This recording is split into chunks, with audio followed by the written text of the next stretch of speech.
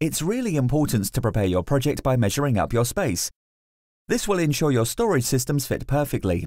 Firstly, measure the internal height and width of the opening.